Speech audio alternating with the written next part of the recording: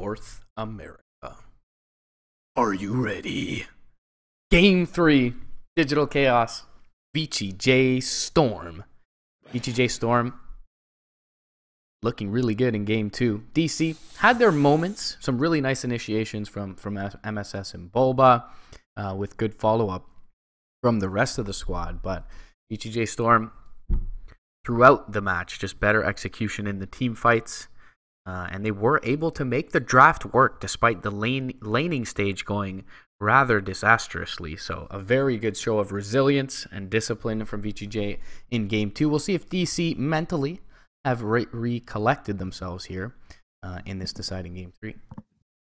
Yeah, I really felt like DC had the advantage in the early game, especially with all the shenanigans that was happening in the bottom lane. I mean, they mm-hmm. it looked like they were pressuring Sneyking like off the planet, but I mean, VGJ they managed to work pretty well as a unit and uh, managed to make space for each other and really won a couple of key team fights that let them uh, be like more successful than I ever expected that game. Yeah, the uh, the first fight that seemed to turn the game was uh, when Sneyking got his BKB. Uh, they smoked down towards the mid lane, and walking up the stairs, Bulba blinked on him, uh, got or blinked on Flea, got immediately Malefice. They weren't unable, despite initiating on the Enigma, to kill him off. He BKBs, black holes, and the game got a lot harder from that point on. See, they end up dropping that one, but they'll reset here. Uh, same bands, Lich Veno for their side. Uh, first pick for VGJ Storm. They will opt to take the Earthshaker last time, just like Moon did.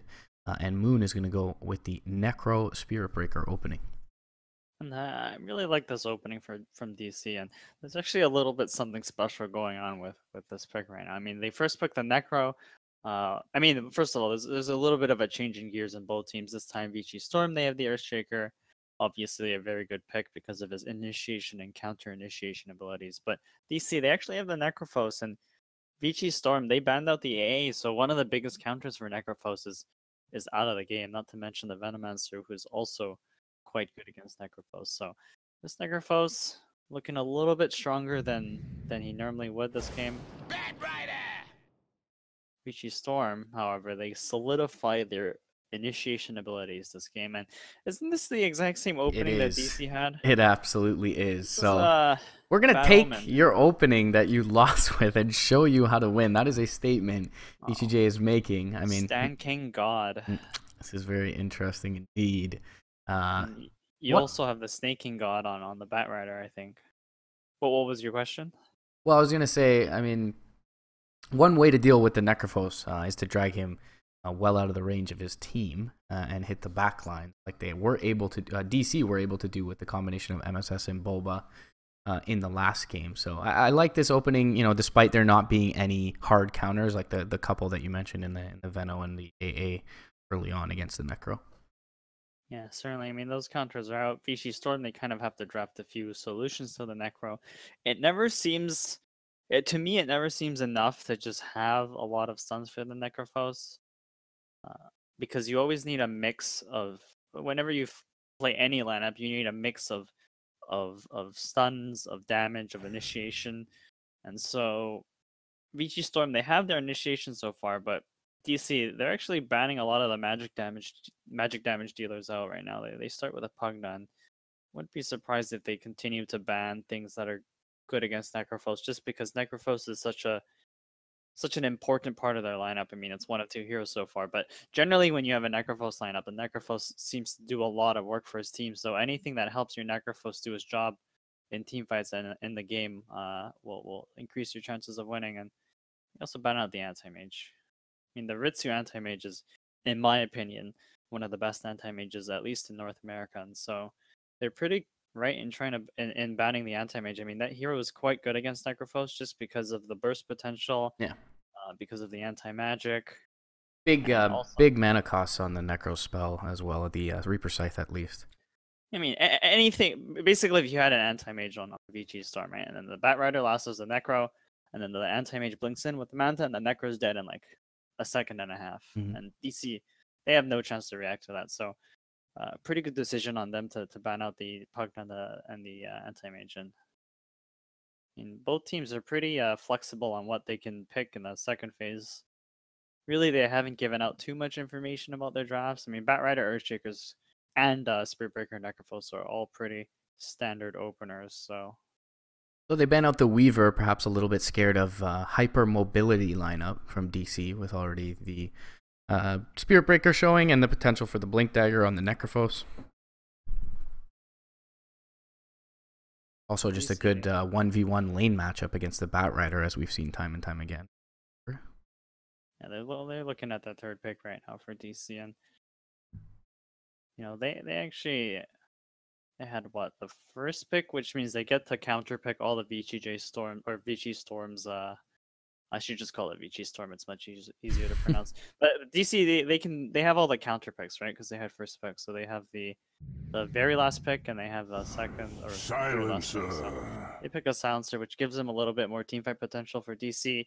Also gives them a form of counter initiation from VG Storm. So, I mean, we've seen the Spirit Breaker silencer a lot. It's quite a good uh, opening for a team fight you have the Spirit Breaker charge in, followed up by the Silencer Global Silence, and then suddenly it's a lot harder for the enemy team to respond to uh to your abilities. But VCJ Vici Storm, they can also respond to the Silencer by picking things that don't have to team fight, or or heroes in general that are good against the Global Silence, heroes that can react to the Global Silence. So. Uh, I mean, not saying they should pick a, a, Abaddon or anything, but just heroes in general that that pick or that pick up um items like Eul Scepter, BKBs, and Lotus Orbs. Mm-hmm. And don't forget, early on, if the Spirit Breaker is able uh, to get up off the ground running, there is a lot of plus two to be had for this silencer. Dazzle going to be picked up by the VCJ Storm side. It's a little bit of a peculiar pick from Vici Storm, I think, just because Dazzle to me feels like a hero that doesn't do well against the silencer, like Dazzle never gets to the point where he has anti-silence, and so mm. when you have a hero that relies on getting a, a shallow grave off Legion every fight, Commander. I think uh, it's gonna be a lot more difficult with the global silence, right? And silencer uh, and D- DC they can always finish their kills in in quick time with Reaper Scythe. Talked about uh, lasso counters, a soft one here in the press the attack for the Legion Commander. Also, just uh, another hero that tends to build blink, so you can jump in off the back of the Spirit Breaker charge, and global certainly going to help in the endeavor that is the duel. So yeah, a Dazzle interesting pick. At the beginning, I thought of the possibility for uh, VCJ posturing up uh, to, to go aggressive, and that's because they they banned the two heroes that are very good in the one v one matchup against Batrider and the in the Lifestealer and Weaver. Um, and then I thought maybe with the follow up Dazzle pick that that's what they were thinking. Uh, do you think there's any merit to that? There is. I, I feel like Vici Storm maybe had something in mind with the Dazzle pick, or maybe mm-hmm. they felt like it was their last option for position five, just because they didn't want to pick their core there. Uh, didn't want to give too much information by the third pick, but I don't know. It's a little peculiar to me.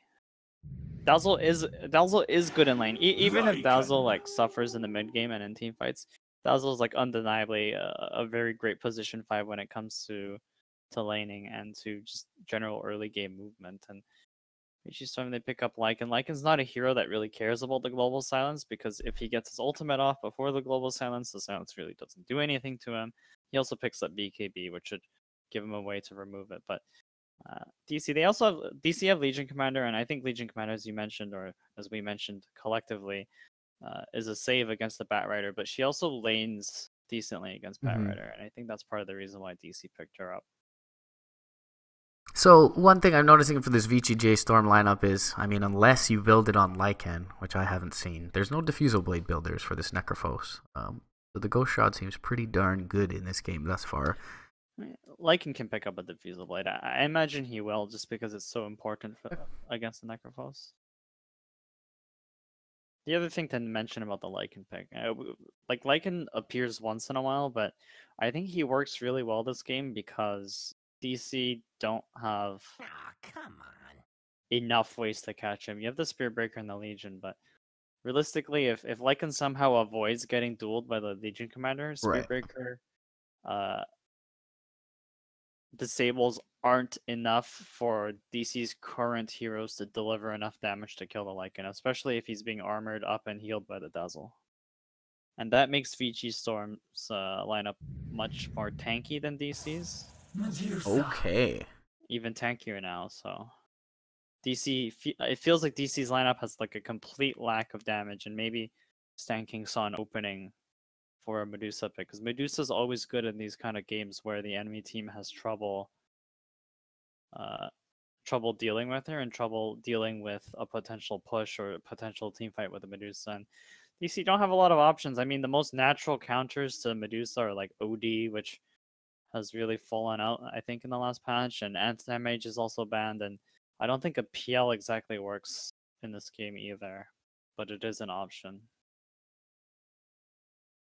Mean, there are definitely merits to the OD this game. Uh, you don't have the greatest roaming duo in Dazzle Earthshaker against you. Uh, your natural counter to the Dusa. You can imprison someone who's graved or potentially lassoed, although that's, I guess, less likely. As you mentioned, not something that necessarily has radar of these at all.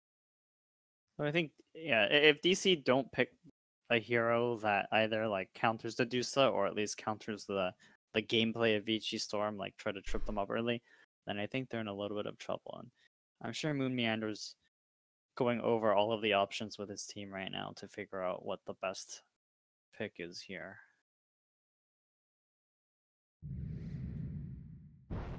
Phantom Lancer. It is the PL, and PL is okay against Medusa. I mean, the illusions get instantly killed by the by the stone Gaze, but Snake, yeah. PL, yeah. and the snake. But PL, PL's a hero that is more than capable of disengaging from from the stone Gaze. So we'll have to see how this dynamic works for DC because it feels like DC is a very um like like focus on their initiation and sort of like go from there, right? They have to use a global silence and they have to use the duel. So uh ideally when you play against a medusa lineup you're actually able to disengage quite easily and dc it feels like their lineup isn't able to. So if they get off to a good start then the game becomes really easy for them just because their initiation is so uh it's like quite strong but so is vici storms. And uh, if this medusa goes out of control i think dc will have trouble with her.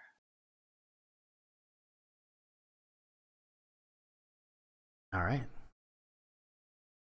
Be interesting to see how this early game goes. Very stable landing combination in the Shaker Dazzle or VCJ Storm side, but there is the possibility that DC leave MSS 1v1 versus Sneyking. Uh,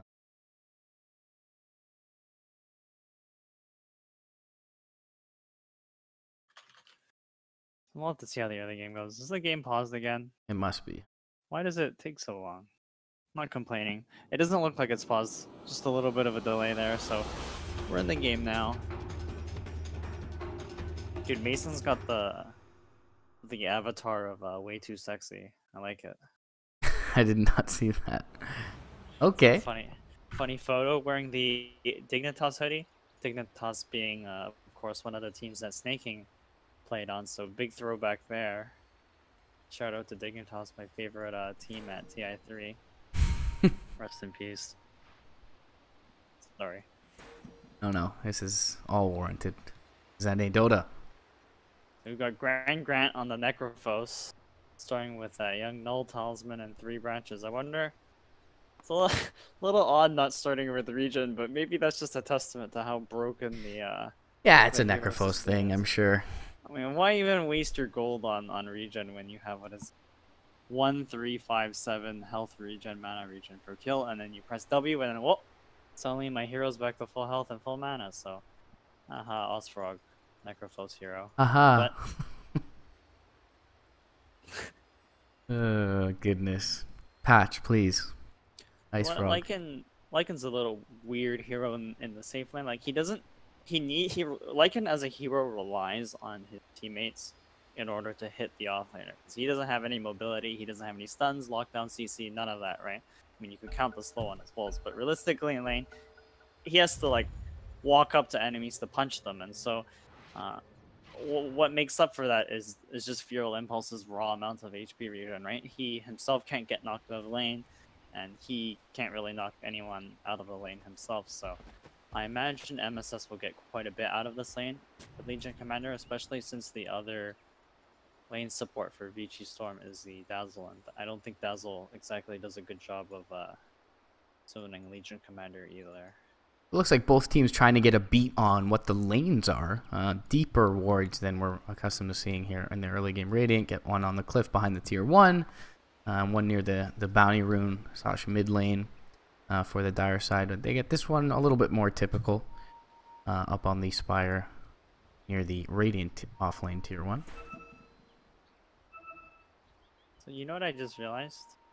Didn't so Vici Storm opened with the Bat Earthshaker, and then DC responded with a Legion Commander. So it's like a sort of reversal, right? Mm-hmm.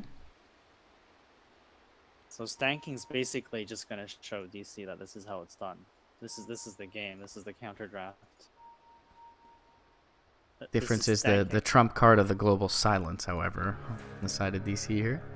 Is it we- minor details here. Minor details. I mean. Sneyking's like, hey Moon, this is this is how it's done, right? This is how the Earthshaker Bat is done. And uh, speaking of those two heroes, they're gonna start top together.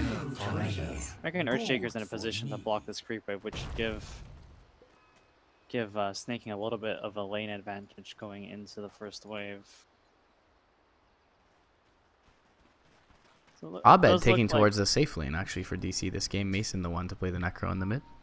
Yeah, I wonder. I wonder if they're just more comfortable on these heroes. I mean, Mason is the The Necro player. player that usually plays Necro, and Mhm. he's more than capable of a mid player. I mean, after you play many, many hours of pubs, you just Also explains the uh, not going for regen. He's been pooled the tangos. it all makes sense now. I was wrong. Bronze was left. Curse goes out top lane. Uh, it's just for now going to be the Moon Meander Abed combo. There's a there's a little bit of kill potential top. PL's a little bit of a difficult kill for Batrider, but certainly Moon, Man- Moon Meander has to be careful on the silencer not to get caught out by Fissure and Firefly, otherwise he is gonzo. So Bot lane charge goes in. Uh, Bulba already took a hell of a lot of damage though from the poison touch. Uh, so can't continue to pursue forward. And as you mentioned, Lycan innately very tanky.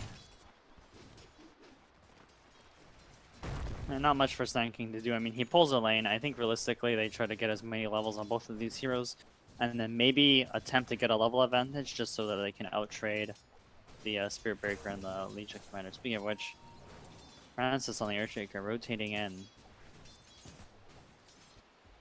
Difficult for me to think of how they kill one kill one of these uh, these offlane heroes though. Mhm. So Agreed.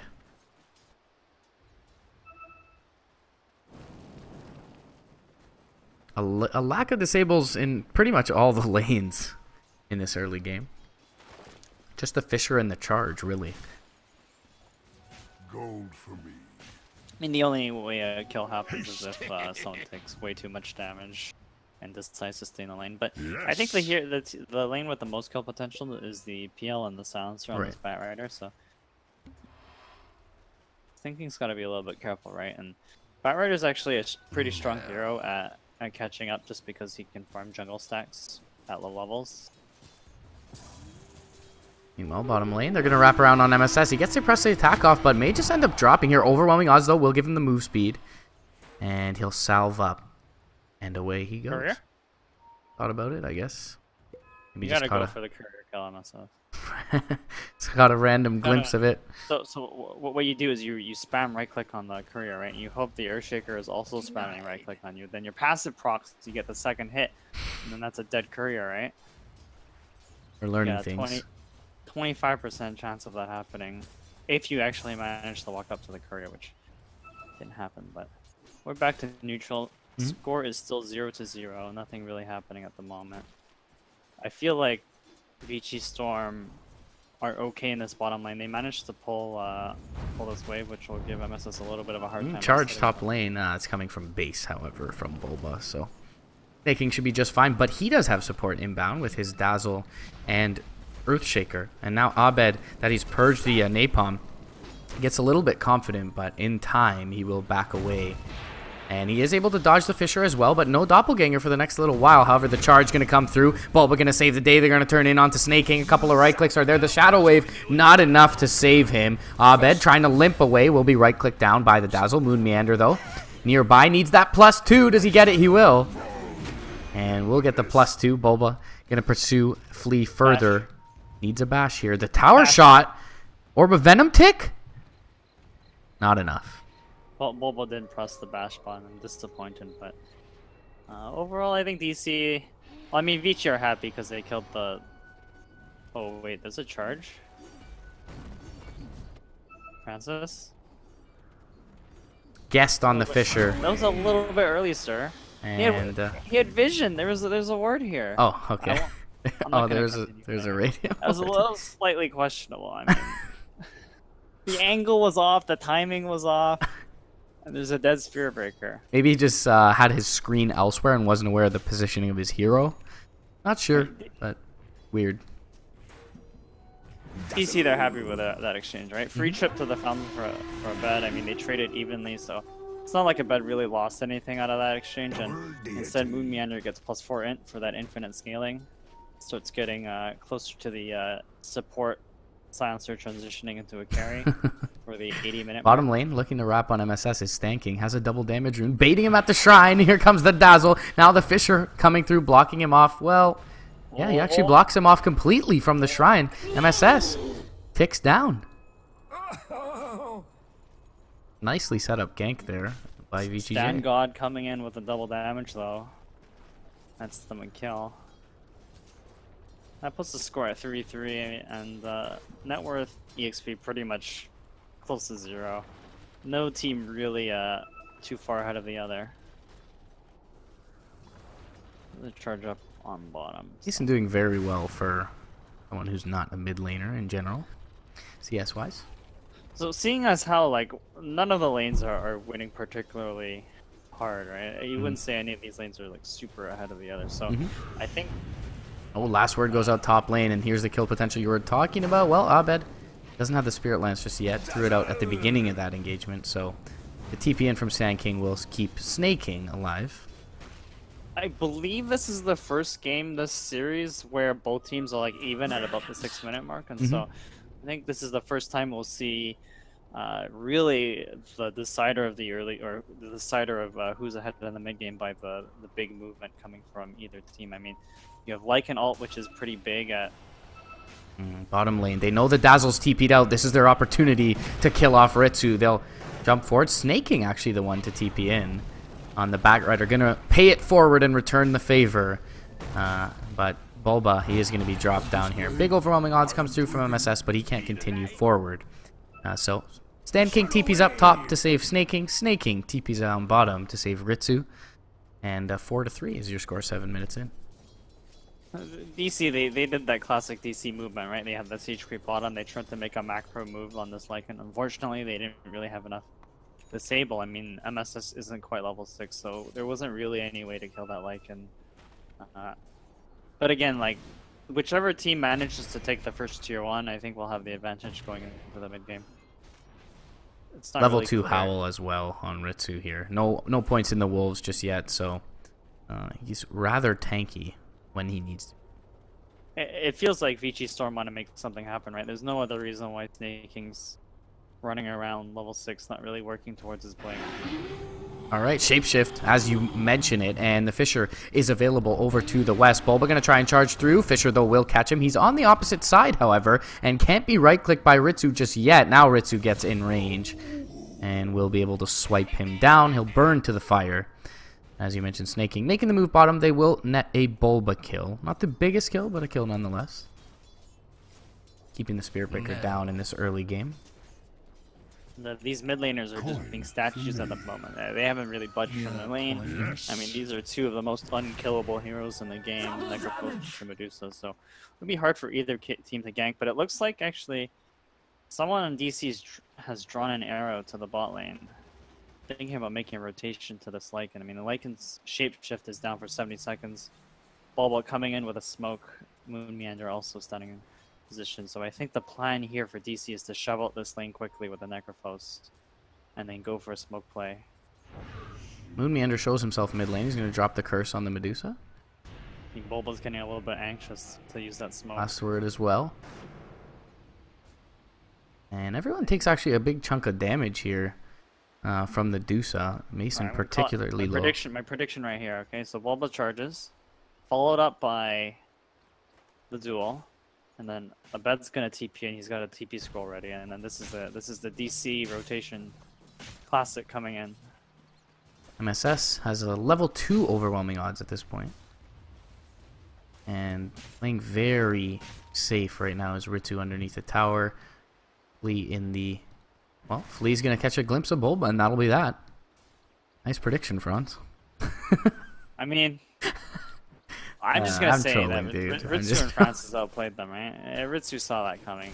it is the classic DC rotation, so Yeah, they did I- see. Uh, they definitely communicated from the mid lane that the Necrophos there's no left. reason for the Necrophos to to be missing when Right. he's been sitting in the lane and like you know sounds just something from man like Necrophos isn't Necrophos isn't a hero that wants to be jungling this early in the game. So there's only Mm-hmm. one thing that Mason could be doing, walking to the bot lane. So you could say that DC were a little bit too obvious or a little bit too slow with that rotation. So Ritsu and Francis totally catch it out. And actually, there's a bit of a rotation happening bottom from Vici Storm themselves. Coin is Doesn't look like anything will happen out of it. Sneyking level 7 does have the lasso. Uh, no drums, no blink, so kind of hard for him to get in on these fights gold for me. without the Earthshaker. You know, that then. Bulba's doing the bounty rune relay. Too bad it's taken, but uh, Sneyking manages to hit level 6 on Dazzle, which is actually huge because, uh, you know, our armor's Away! very important. If you control the armor, you control the game. And so. Is Stan that King, a- He hits level 6. Bulba. It is a meme. So Bul- Bulba's not even level 6 yet, and Moon's close to level 6 and uh, not quite there, but Stan is getting uh, the better of these ex- of the EXP exchanges. You curious about that meme? I- I it's an was a NA. Dota thing. Ah, okay. You might have heard it before. I, it sounded familiar, and that's why I began to ask. But anyway, yeah. Bottom lane, uh, their attempt on the rotation thwarted as I suppose MSS couldn't close the distance quickly enough. Though MSS is cutting the wave, does have the siege creep with him bottom, and right now uh, Flea not able to do anything just yet. Does show will drop down the Fissure. MSS will dodge it, and top lane we may have a little bit of a scuffle ensue. There is some dire vision, and there's radiant vision as well on this exact cliff. Like, not exactly a lot of action happening in the last five minutes, and I think part of that is that the cores on both teams are basically unkillable. Like Phantom Lancer, Lycan, Necrophos, Medusa. None of these heroes are easy to kill, and relatively speaking, the initiation from both teams is a little bit uh, not good, at least until Blinks come online. So both teams playing pretty passively, trying to get as much out of the map as possible. And I think DC will actually get more, but down in the bottom lane, Yeah, they're gonna Fissure block off MSS. Echo Slam is there, Lasso as well, and he'll be dragged into the tower and down. Just brought up the uh, current gold tab to look at who's closest to this Blink Dagger. MSS now going to be set back down to 1,000 gold and 1,850 on Sneyking after that pickup. He's gonna get two 1900 even. It's the bounty rune circuit. Here we go. Got it. Easy. Almost level Uh, 9 as well After on the one map. Firefly, actually, there's a couple of stacked camps here, so Snaky might decide to stick around, although it's a little bit dangerous there. Next Firefly should net him his blink, so he'll have it in a minute or two. The DC do get that tier 1 bottom, which is nice for them because it opens up the map, but it seems like Vici Storm have no intention of ever putting their Lycan back there in the near future. They have the Lycan and the Dazzle up top. Pause comes out from Grant Grant, aka Mason.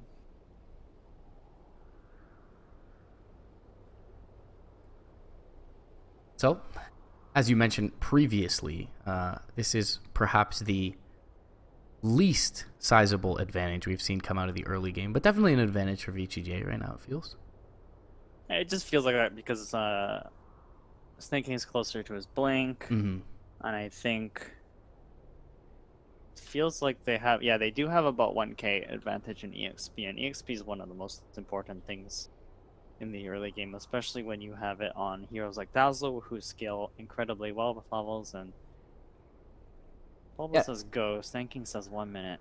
That Hopefully time, it's uh, sorry to interrupt. That time that Sneyking TP'd down bottom lane, uh, Sneyking was able to find him almost a full two minutes. So uh, definitely a couple of waves top lane and worth of experience.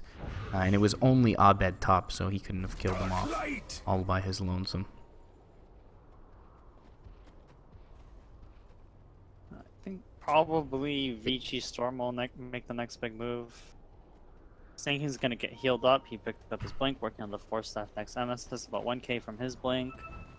Uh, Medusa's close to Linken's, which should help her against Pretty much all of DC's initiation is actually broken by Linken's and And mid lane tower actually going down to no contest here. 747 just parked in the mid lane all game long. I think this is uh this is Vici Storm's chance to put a dent in Abed's farm. hmm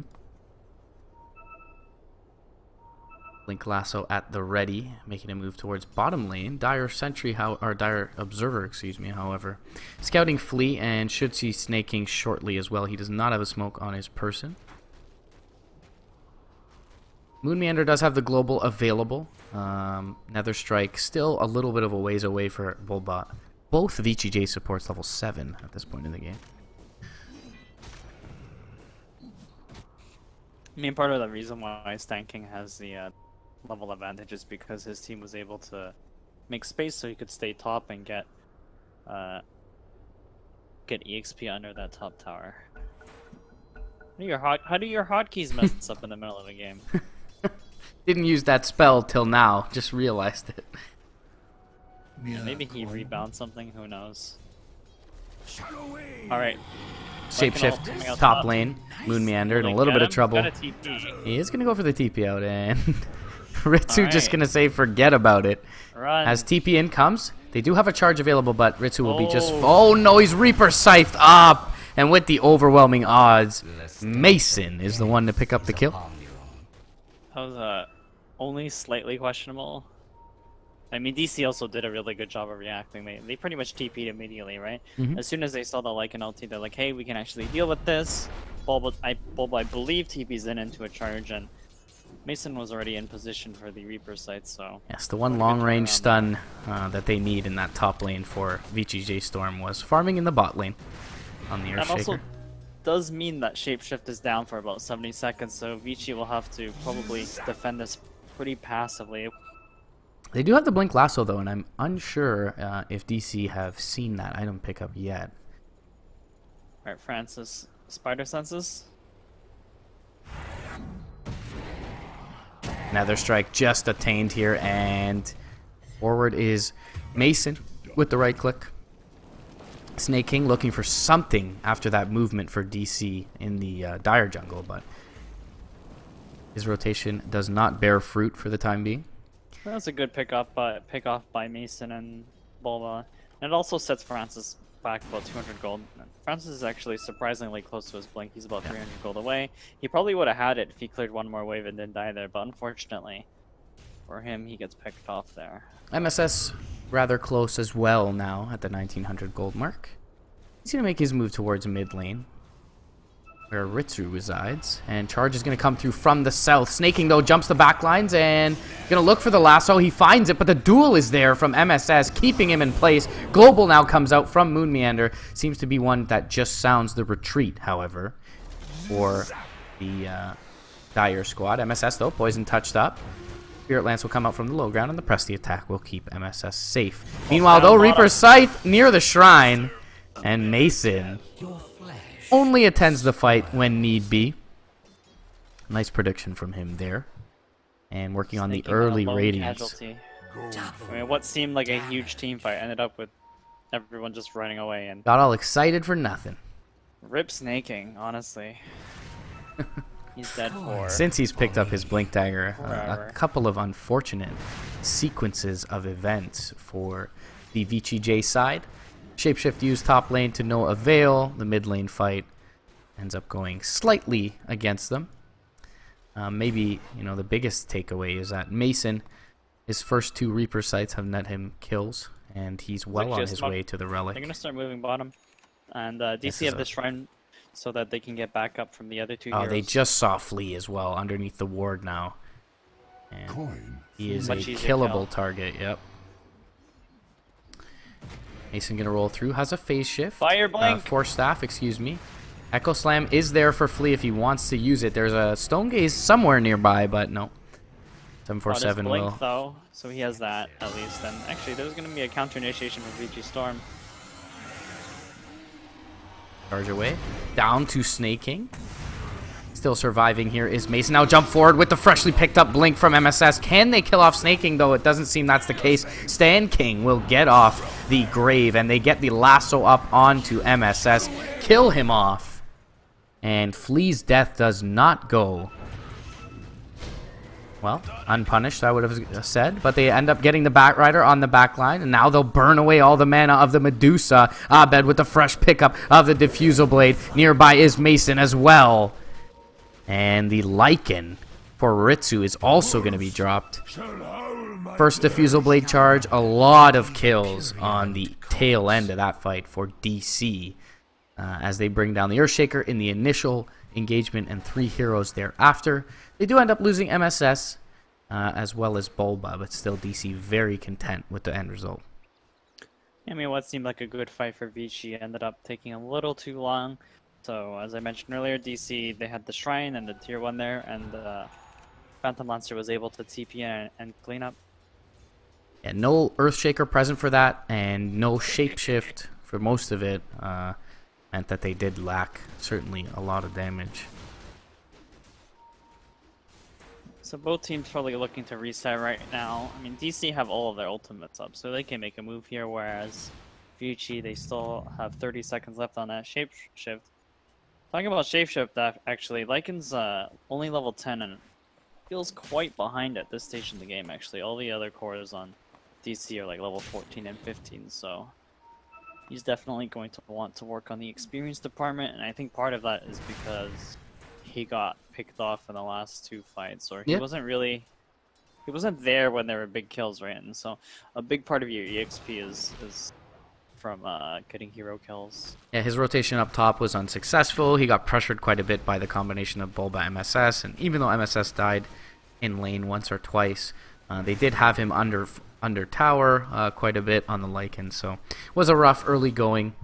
Uh, they spent a little bit more focus, I suppose, keeping Sneyking alive in the top lane, and so Ritsu ended up a little bit behind. Has the Necro 1, well on his way to the Necro 2 at this point, but Boots a Travel Diffusal already up here for Abed on the PL, and Mason has the Relic and almost a full Radiance here.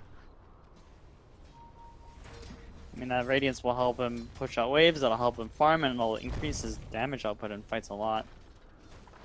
Well, that'll be a pretty important pickup from, from Mason. MSS Invisibility. Rune. Abed on the high ground. Throws down a Spirit Lance. I feel like they have the fallout damage. Scan is going to catch Bulba. The Radiant Scan, that is, as he rotates over. I haven't really talked about it much, but feels like Vici actually can't clear these illusions very effectively. I mean, you have Echo Slam, but that's like a one-time thing, right? Mm -hmm. So, PL, if, if the fights go a really long time, PL has an advantage just because he's going to be burning so much mana. He's going to be able to throw a lot of lances, and Vici, even if they catch him with Batrider, I don't think they can finish him off. Bot lane, Unless trying to TP out, and Petrified is MSS. So 747 will make it away. Stone Gaze used, though. It'll be down for the next minute or so, a little bit longer. Abed mid lane. Does throw out a charge on Sneyking, but perhaps the uh, the siege creep here caught vision of St uh, Stan King behind him and backs Abed away. It doesn't feel like it's easy for Vici Storm to kill Abed if his team is around with him, especially because of that global silence.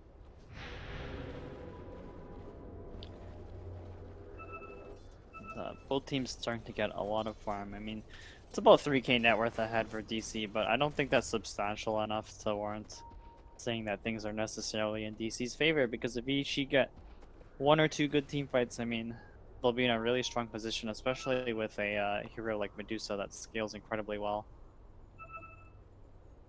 Does have the Linken, says Ryoya. Regeneration! Feels like DC's ready to make a big move here. They're starting to group up. Or maybe they're anticipating a move from from Vici Storm. Mere coin. Global at the ready. They've got this fresh Radiance yet to be deployed in a team fight.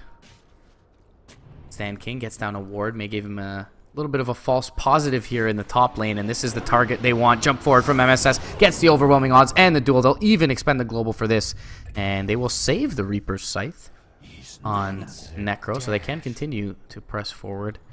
The support inbound from VGJ Storm just a little bit too late. In the meantime, Abed just farming away bottom lane, playing a little bit tentatively at this point though, as the rest of the Radiant lineup was missing.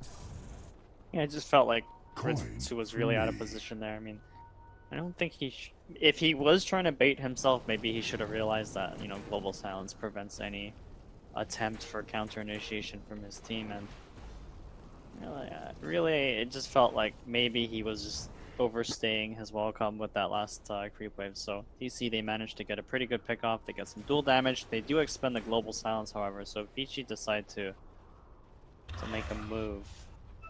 Uh, DC won't have global silence for the next uh, 70 seconds. And Bulba's actually been spamming charge on Medusa just to cancel the Linken's. I don't know if it's uh, if it's to spook her out, but I've des definitely been noticing that.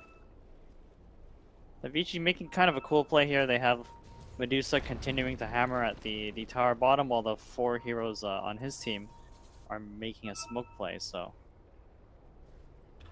We'll see if DC figure out what's going on here, or... DC are grouped as five, though, so this could be disaster for VGJ. Bulba, though, he's a little bit out of position if Sneyking wants to catch him. Jump forward, Flea's gonna catch the Echo Slam onto four. Fissure is there as well. Shadow Wave comes through. Everyone from DC low, and Sneyking getting low. He's gonna, but he's gonna kill off the Necrophos first. Now the Stone Gaze coming through from uh, 747. Bulba in trouble. Sneyking still surviving here with the uh, Shallow Grave. He's ticking down, though, and will end up dropping.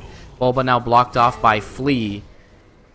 And it is an ultra kill for the Lycan. Abed and MSS lone survivors for their side. Actually, MSS bought back on the Legion.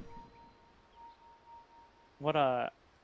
Okay, well, for first of all, I think DC were over overconfident being in that pit. I think they wanted to sort of sneak the Roshan there, especially after you see uh, the Medusa bottom. You see the Medusa bottom, so they probably assumed that hey, maybe the enemy team was was sitting bottom behind the Medusa the whole time, right? And I guess uh, as a result, they wanted to get in like maybe an extra couple hits grouped up in the Rosh pit, and Francis ends up with the four-man Echo Slam. I mean, what dollar value would you assign that Echo Slam?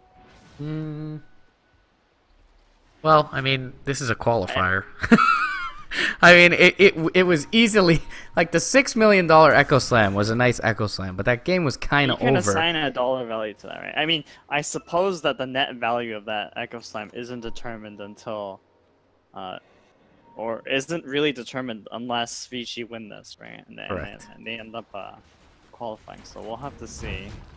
But for now, back to the game. It was damn nice. Have to expend buybacks, so that actually swings a net worth about 2k or about 5k back in uh, Vici Storm's favor.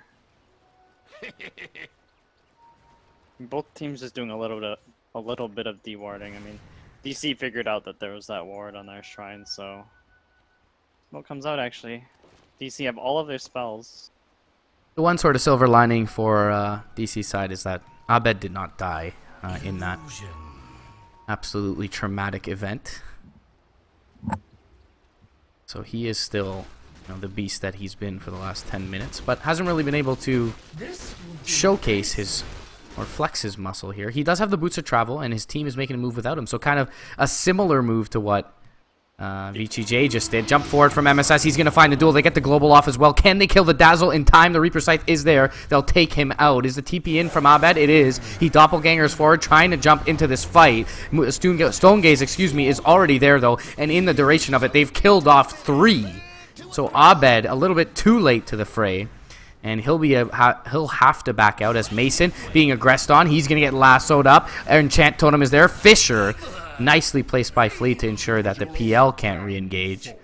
And VGJ take a great fight in the mid lane. That Stone Gaze perfect from 747, and he gets damage off on pretty much every target it looked like with his split shot. That was a really good counter initiation from uh, Vici's Storm, but more peculiar to me is that DC ended up using two of their ultimates on Dazzle, the uh, Reaper Scythe and the Legion Commander duel, which seemed a little excessive to me. Yeah, I mean, I feel like in order for DC to win these team fights, they have to burst down uh, more realistically the Lycan. But one of the one of the two cores on on Vici Storm, they just, and as a result, it just really didn't have the damage without Abed, and uh, I suppose you can't blame Mason for using the, the Reaper Scythe there. The duel duration was about to end. They wouldn't have killed the Dazzle. He would have graved himself. It would have been perhaps even worse for them. He gets the weave off. But yeah, as you mentioned, they used two of their huge abilities, and, and you could even argue that Global was committed just for the Dazzle kill. Uh, and then it was almost easy for VGJ to counter initiate. So, uh, you know, they, they go for that move, and perhaps they, they, they, see someone and get a little antsy. I can get the dazzle. I'm going to jump in and duel here. MSS does, but you know Abed wasn't notified yet to start the TP.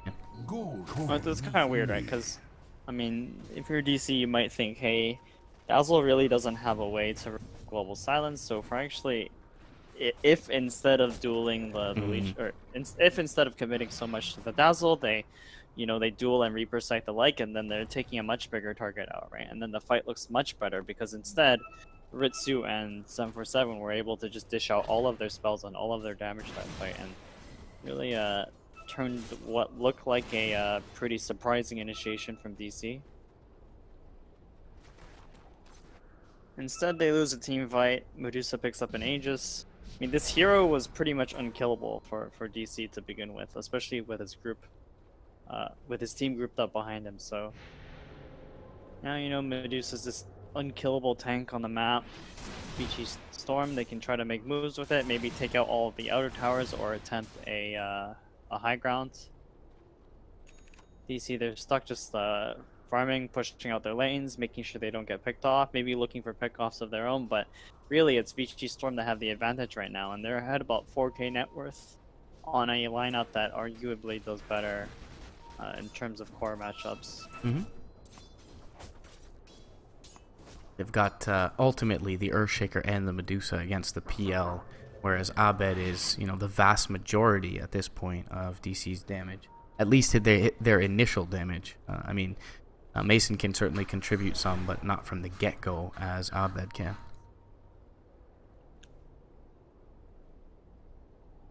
Yeah, then uh, Vici probably just looking to reset. They have both teams have all of their spells right now, so I think Vici's just looking for an opening in, uh, on the map to make a big move. Coin for me. They're, they're not in a hurry to make anything happen right now. Double damage. So, taking a look at uh, item progression. So Medusa's working on that Mjolnir. She's about halfway well, not halfway, but about 2k, 2 point something k gold away. Lycan's starting to work on that Diffusal, which should help him against the Necrophos. He does have that Ogre Club, so he'll be working on a BKB at some point, but maybe he figures it's uh, less important than the Diffusal at the moment. And uh, Sneyking's got the Blink, Force Staff, BKB coming up online, so that does mean he has a way to remove Silence, so he can still pull off his initiation even uh, even if global gets used. And, and it actually works for his team, right? Because Medusa and Lycan, they can still do a lot of damage outside of or during the global, and so I think that gives Vici a little bit of a, a little bit of an advantage, or less of a disadvantage during the global silence. Lumi, they're going for a Ghost Scepter of his own as well, so once this Diffusal Blade is picked up um, by the Lycans, two targets he can utilize it against. Nemesis actually has Blink Blade Mail, which I think allows him to kill realistically any hero other than the, uh, the Medusa. Oh my goodness, look at this Cardi go. He pressed the attack on the Siege Tree and it pretty much solo took out this tower. MSS gonna jump in for the last hit. Man, have you ever seen the Alacrity Siege Creep? Oh boy. uh, I have, I indeed like have. 3 to 400 damage per hit. Abed being pursued out. he'll make it down where his ward vision lies. I've been working on BKB, which is kind of weird on PL, but kind of warranted considering that he has to deal with uh, Mystic Snake, Mystic Snake, Echo oh. Slam, and uh, and Firefly. So that should help him out a little in the team fights. I mean, we'll get a, a slight bit of damage done on this tier three bottom lane. Gonna press the attack on the cart too and force back the glyph and the Lycan. No one to counter or cancel TPs, though in the mid lane, no one really in position for DC. Permanent damage, though. Yep. I think yes. the Aegis will probably run out. Yeah, it just ran out, so Vici really only got two tier twos out of that Aegis, which isn't bad, but I don't think they really want to jump the gun because if they if they do high ground and it, and the fight does get really prolonged, uh, that's those are the kind of fights that like Urfosa and Phantom Lancer really excel in.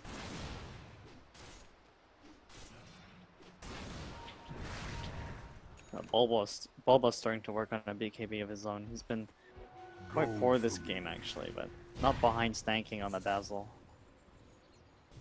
Nobody is ever behind Stan King on any hero, it feels. So uh, at the moment, if, if you're DC, you're just trying to get as much as possible because I think they want the Phantom Lancer and the Necrophos to be a lot more farm, right? So Medusa's uh, farm is starting to plateau in a way, just because uh, DC's difficulty of killing Medusa doesn't really get higher from here unless she starts picking up uh, like a Skadi or Butterfly, which she has next. But at the same time, the Phantom Lancer isn't really in a position to to fight into Vici Storm. So DC's trying to get as much out of the map as possible, uh, stalling time. Speaking of which, they will get a tier 2 top lane. And in response, VGJ posturing around this tier 2 on the dire side in the offlane. They'll get this There with is. ease. It's a little strange because I think I, it now feels again like a repeat of last game where both teams are just being super passive. They're both respecting sort of the team fight potential from both teams, and it's not really easy for either team to make a move right now. Certainly, it's much easier for Vici Storm because they just have to park the Medusa uh, as a frontliner. But if uh, if Vici are slightly out of position, DC have more than enough burst damage to to pick heroes off, especially with Reaper Scythe. Do you feel that this benefits any one squad? I think my major concern for DC is that there are just going to be more counters for the global to come out uh, into the game, and that kind of takes away from their team fight potency. Yeah, it certainly does. I mean, I think Stan's working on a There's- max, so he'll have Guardian Greaves eventually. And actually, there's already a Lotus. Yeah, exactly. I, I didn't even notice that before mentioning that point, but yeah, Francis Lee got the uh, Lotus Orb up. Sneyking's got his BKB, so that's two heroes at least uh, that don't care about this global. Hard, it's hard to say. I mean, I haven't really seen matchups like this before, but I imagine Phantom Lancer and Necro can still manage to kill the Lycan and the Medusa. It just takes like a really prolonged fight where uh, Phantom Lancer gets a lot of illusions up, the Stone Gaze comes down, and you end up burning a lot of mana from Medusa. I mean, I think that's part of the reason why they pick Phantom Lancer is just to have a hero, an illusion hero that buys diffusal to help deal with uh, Mhm. with the Medusa. hmm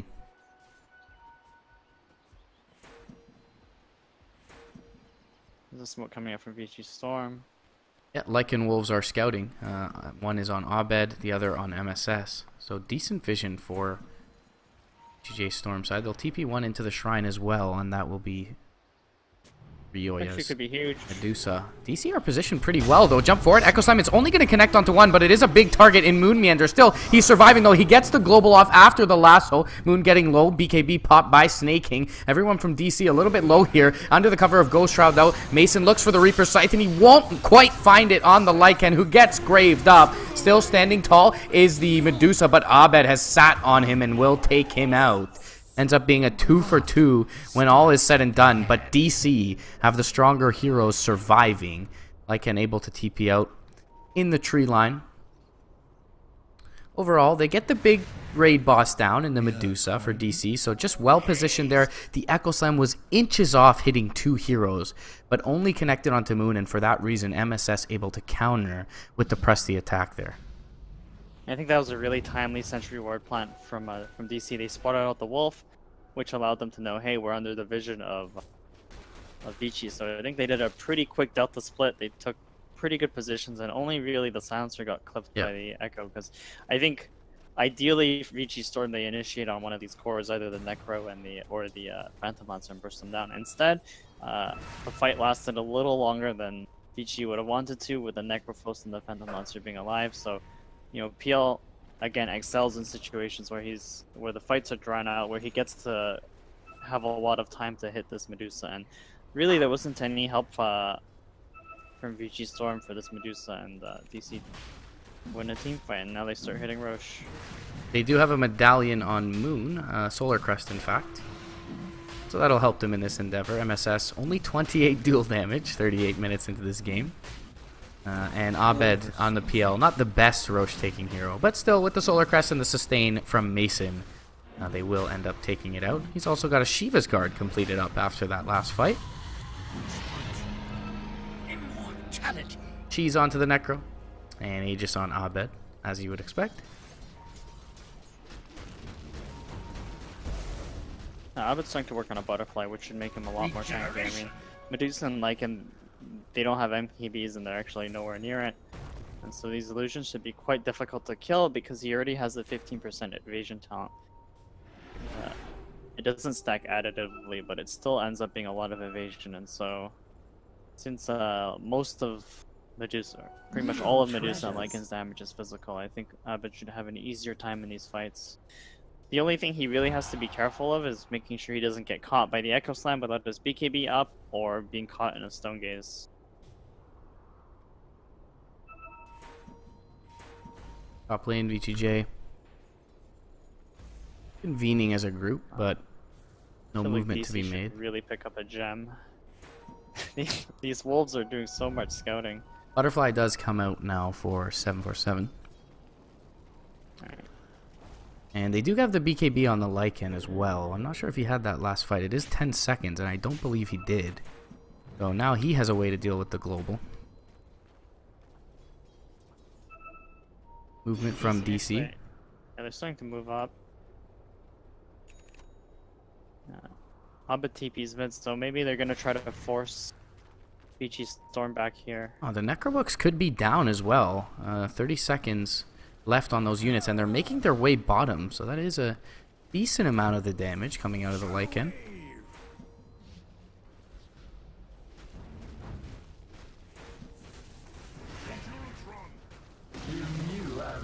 Nice denial from. Ryoya. And yeah, not the ideal target to open on is that Medusa, but he gets the tower deny. DC probably want to back off here, get a bit to uh, push out the top lane, and then travels in later. Or maybe you just take a fight right now. It seems like he's kind of conflicted on where to move, but decides to head towards top. And really, with the Aegis, what they want is they want to get all the lanes pushed out and then be in a position to slowly siege the high ground in such a way where they can't really die twice on Abed. Snake King feeling pretty safe to hang out in this vicinity because they have this cliff ward, so just gonna farm in that kind of area, constantly push the wave out uh, as Abed leaves. There's a charge somewhere on Bottom bottom. lane. BKB is up for Ritsu. He's just hanging around on the high ground, though. Could be in a lot of trouble. The global comes out. They jump forward with the duel. Echo Slam, though, connects onto two. And there's the Medusa. They're baiting in the Ritsu like head. Meanwhile, on the back lines, Mason starting to do some work. They get the Stone Gaze off. Abed forced to turn away, and they take down the Necrophos. Now, Abed in trouble as well. He's going to be diffusal bladed up. Turns to go into the Medusa and takes a huge shadow wave. His Aegis is going to drop. And his second life in jeopardy. Pops up the BKB. Phantom rushes towards the Earthshaker. Flea could be in trouble, but he's just going to try and use this to get out. Flutters away. And has the boots of travel. Sneyking, pressing forward. Up on the high ground is Moon Meander. He's just going to try and get the curse off and back away. Has a Force Staff of his own. Abed. Fissured up. Has the doppelganger to the high ground. Doesn't make it. Oh, the fortune there. He gets Force Staffed up the hill. Moon Meander going for the TP out. Now a jump forward from Sneyking. Snake King should have a flame break. No, he has no mana for it. And doppelganging away is Abed when all is said and done. However, DC do take a bit of a crushing loss in that bottom lane fight. Ritsu just standing there baiting. Uh, and the initiation from 747, their counter initiation, was great.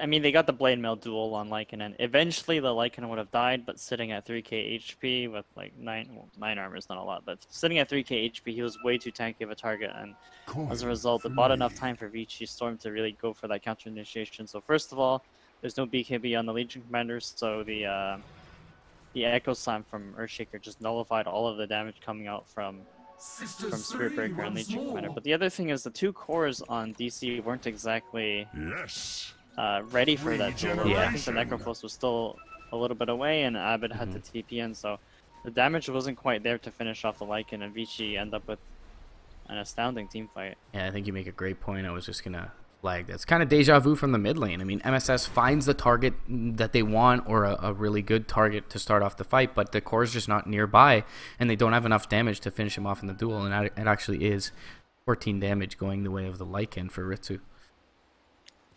So it does feel like it feels like this is a hard Phantom Lancer game just because uh, successful Phantom Lancer games uh, usually you have you have an advantage from the early game because this hero likes to fight so much.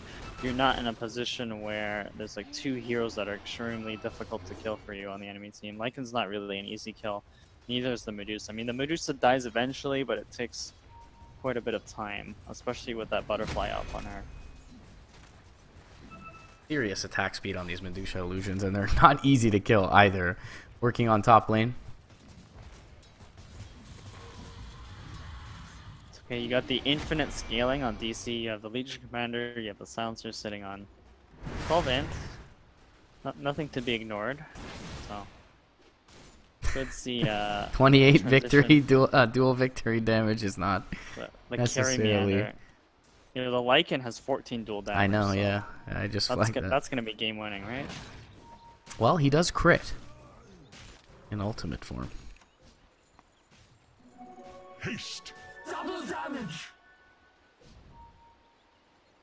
GG Medusa. I don't know if anything's gonna happen off of this. I mean, Vici Storm, they can sort of slow siege as long as they start protecting their heroes as they're doing it, because realistically this Medusa doesn't doesn't die in a hurry.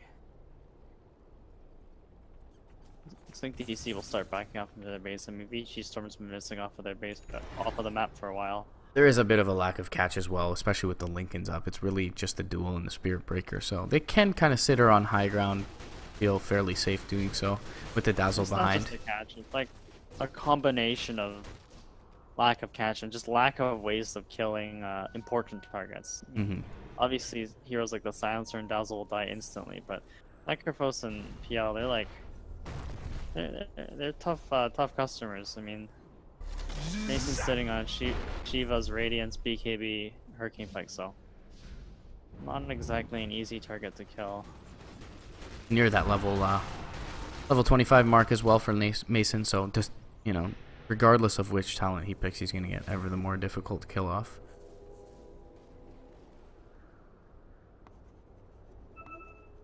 Well, DC stuck on their base again, just like last game, but this time it feels like uh, they actually have the solutions for, for Vici Storm's heroes.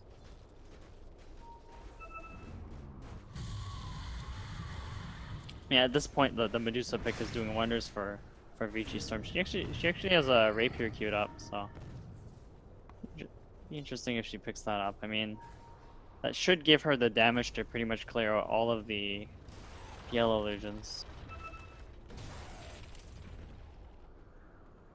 Sneyking has a gem, so just scraping along for defensive wards on the Radiant side, or on the Dire side. Still though, no tier 3 down for either side in this one. Roshan still not to spawn here for another minute and 18. But VGJ, they've got the, the run of the map at this point. Smoke coming out from Lee. TC. Could be in trouble here. He's charged up. And he's going to get hit. Another strike is there. The duel. And they'll find some victory damage for MSS. 18 into his pocket. continues. I think it only begins at this point. Third duel win of the game. Three for four is MSS. Endurance run. Yeah, the plus 18. Also, also the int for uh, Yes, plus two. That's, that's, key. Now jump forward. Lasso is going to find Bulba. They get the global off though, so no follow-up just yet. Bulba now going to get the charge off onto the Batrider. Has to back away. Pops his BKB. And meanwhile, on the backline, 747 getting into the entire lineup of DC with the right clicks. MSS is going to fall. They pop the Lycans. But again, Abed nowhere to be found in this fight. And now Mason forced to pop the cheese. He has a Hurricane Pike in just a second. Abed back up to the high ground. All the ultimates used. Now he needs to get in and do some damage. Still, Medusa very tanky. Hurricane pikes up. He's, as you mentioned, dealing with the illusions with ease. Is this 747 Dusa. Moonmeander re enters the fray, and it'll probably be to his death. Ghost Shroud comes up for Mason. He has one death pulse, but that'll be all she wrote for this Necrophos as he'll be dropped down. Flame Break to come through. Heartstopper Aura and the Radiance do kill off the Sneyking Bat Rider, but overall, Vici Storm once again, somehow, 747 able to flutter and find his way right into the back of the DC lineup. Abed wasn't there at the start of the fight. Mhm. They get an initiation on Bulba, and DC sort of just trickle into the fight one by one. And Vici Storm, they managed to take a good fight, and Roshan respawns just in time for them to take it. How convenient. VGJ very happy with that engagement. DC uh, hanging around the pit though with a few heroes, but they do not have their their heroes are up. Necrophos. Come forward, Moon Meander. He's going to uh, go Scepter, but against the Diffusal Blade, not going to save you much. Jump forward, though. Bulba's in, and the duel's going to come out onto the Medusa. They won't end up killing her off, but they do bring Flea very low. Abed in under the cover of BKB, looking for the Earthshaker. Will kill him off. MSS will be the next to fall. Abed still standing strong, though. The Aegis of the Immortal picked up by Ritsu. The Dire do get the kill, though, and Ritsu is down. They've also killed off the Medusa somehow. Can they get the bash on Sand King? They cannot. BKB up from Ritsu. His TP not available right away, though, and Abed. Finally, we see the damage of the PL committed to the fight. And that is a godlike streak for Abed. He picks up off of Ritsu. Immediately in towards the mid lane he goes. It costs a couple of buybacks for the dire side. Actually, didn't cost them a single. Uh, it cost them the Necrophos buyback from Mason. There are two buybacks available for Vici's J side, and it feels like they at least need the Medusa. Now jump forward from Sneyking. He gets the lasso off. It's on to Abed. There's the global, though. Can it save him for now? He has the Flutter and the Doppelganger. He's been stunned up, though, somehow, some way. And now Bulba going to be the second casualty on the back lines. So teams exchanging buybacks here. Those good buyouts from uh, Vici Storm there. They managed to get the kill on Abed because he got uh, he got frozen by the Stone Gaze, so quite unfortunate there for him. He'll go down, and he still has buyouts, so DC should be able to at least try to defend this uh, this final or this tier three. New treasures. Uh, if DC actually do manage to kill these two cores on Vici Storm, that does mean that the Deuce and the Lycan don't have buyouts. So maybe uh, DC try to bait Vici Storm into a bad fight here. Smoke from the backlines was pinged out, it seems. Weave is going to be popped onto 747. He is going to get to tier 3 and start to work on the melee racks. Lift going to be popped. Jump forward from Sneyking. He's going to find the lasso onto the Mason. Necrophos. He gets a BKB off but doesn't survive. That's a dieback for the Necrophos. Now DC have to fight here. Jumping forward with the bot back Abed. He's under the cover of BKB, but he is the only one standing and fighting toe to toe with this Medusa. Now a jump forward. Echo connects onto two from Francis Lee. And Moon Meander in trouble here. With the Solar Crest, it's actually keeping him up a decent amount. But he'll burn down, and one last hit from the static charge of 747 will kill him off. Three heroes dead, no buybacks. Looks like the beginning of the end for DC as VGJ stormed through the base. Jump forward. Shiva's guard is going to be there. Abed making it away. MSS blinking out as well. Going to throw some illusions at the enemy, but Feels like uh, it's just a little bit too little with only these two heroes up. They will have a Bulba Spirit Breaker in 15 seconds, but that is two lanes of racks down. Third one going to be taken shortly, it seems. Jump forward. Lasso is going to find, well, an illusion. Abed makes it back with MSS, and now they have the Spirit Breaker. They need to probably make a move here. Jump forward from Abed. He's going to BKB up. Spirit Breaker is going to come through with the charge with the Stone Gaze. Is there Abed forced to turn away with the residual duration of his BKB? And now he comes back and gets petrified on the tail end. Jump forward from MSS. He's going to duel, and this is going to be the beginning of the end, the end of the end. Maybe as DC are all dead here. Abed, the last one standing, and he is not long for this world as Sneyking finds the kill and the GGs are called. It felt like in that last team fight there with the PL buyback, I think DC's plan there was to bait the Necrophos and then have the Legion Commander uh, remove the lasso so that Mason was freed up to, to cast the spells, but instead, thinking uh, four steps away, the Necro gets pulled too far back and then gets bursted immediately, and off of that, Vici Storm managed to take uh, take game three. So Sneyking showing everyone how the uh, how the Earthshaker Batrider is done. the BM let me open with the same two picks that you did last game uh, and beat you with them. But either way, uh, yeah, we always talk about kind of that press the attack being, you know, theoretically or on paper accounted to the lasso.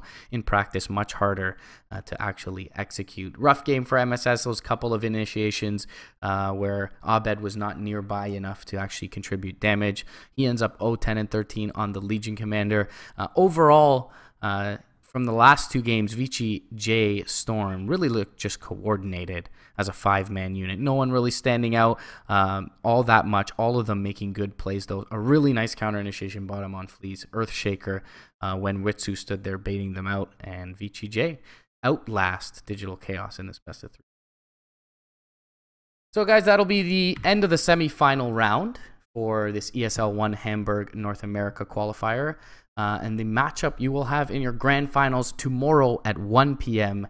Eastern Time, Eastern Daylight Time, is going to be Vici Storm versus Evil Geniuses. So VGJ have their work cut out for them, Franz.